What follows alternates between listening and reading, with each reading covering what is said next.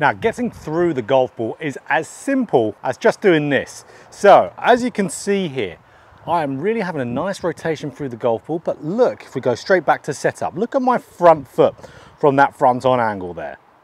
It's got that slight flare to it. So this is what a lot of you miss out massively, is if you don't flare out that foot, you have no chance of turning into your hip capsule. Because if that front foot is dead straight, like vast majority of all of you do, you now can't turn all that much into your hip socket. Just look at this. I mean, I'm going to turn as much as I can into my hip socket here in my rotation, let's say an impact with this foot dead straight.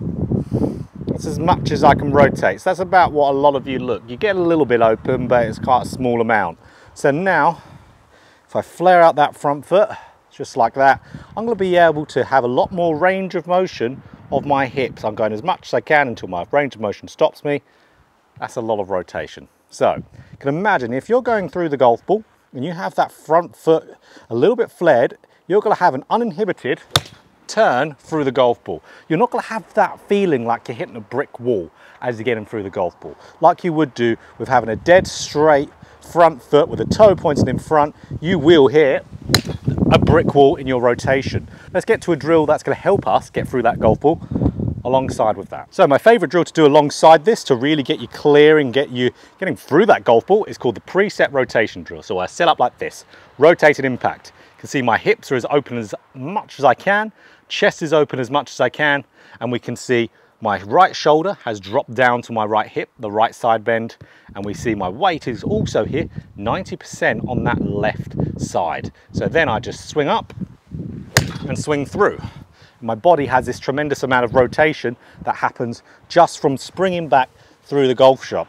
So again, another one, have that front foot flared, because if you're not flaring out that front foot and you try to do this preset impact, you're not gonna get that rotated at the preset. So here we go, again, flare out that front foot as much as you can, then spring back, spring through, doing the preset rotation drill, absolutely perfect. So really stray away and shy away from doing something just from aesthetics. I don't think that looks too bad, to be honest.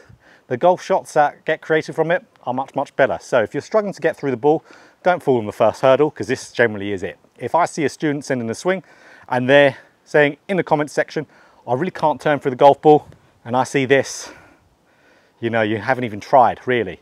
You've got to get that front foot flared out. So if you enjoyed this video, of course, click that like button. If you want more golf instruction just like this, hit the subscribe button, hit the bell button too to be notified every time I put out a video. So let's flare that front foot and then we'll get ourselves getting and clearing through impact way better.